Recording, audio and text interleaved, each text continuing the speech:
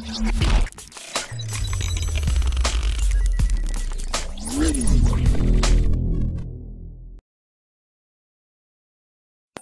Friends sports பற்றின செய்திகளை தெரிஞ்சுக்க தமிழ் கிரிக்கெட் சேனலை சப்ஸ்கிரைப் பண்ணுங்கள் இந்த வருஷம் ஐபிஎல் மேட்ச்சில் சூப்பராக யார் விளையாடுறாங்களோ அவங்கள இந்திய அணியில் வந்து பிசிசிஐ சேர்த்துட்டு இருக்காங்க.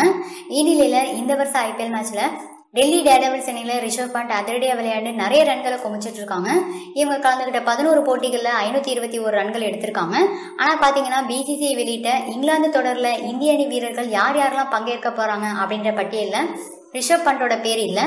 இந்த விஷயம் ரசிகர்களுக்கு ரொம்ப பெரிய ஆச்சரியத்தை ஏற்படுத்தியிருக்கு.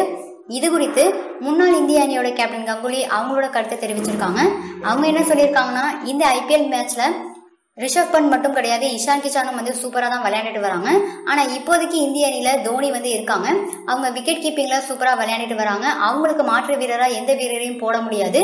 அது மட்டும் இல்லாமல் தோனி இல்லாதப்ப இந்திய அணியில தினேஷ் கார்த்திக்கும் விக்கெட் கீப்பிங்ல சூப்பரா விளையாண்டுட்டு வந்திருக்காங்க. இதனால இஷான் கிஷான் ரிஷப் பண்ட் இவங்களுக்கு தான் இன்னும் நிறைய காலங்கள் இருக்கு. நிறைய டைம் இருக்கு. நிறைய விஷயங்களை கத்துக்கலாம். நீங்க நிறைய விஷயங்களை கத்துக்கும் போது உங்களை தேடி தானாவே வாய்ப்புகள் வரும். அதனால இளம் வீரர்கள் சரியான வாய்ப்பு உங்களுக்கு கிடைக்கிற வரைக்கும் நீங்க காத்திருக்கணும் அப்படின்னு கங்குலி வந்து தெரிவிச்சிருக்காங்க. இந்த வீடியோ உங்களுக்கு பிடிச்சிருந்தா லைக் பண்ணுங்க ஷேர் பண்ணுங்க.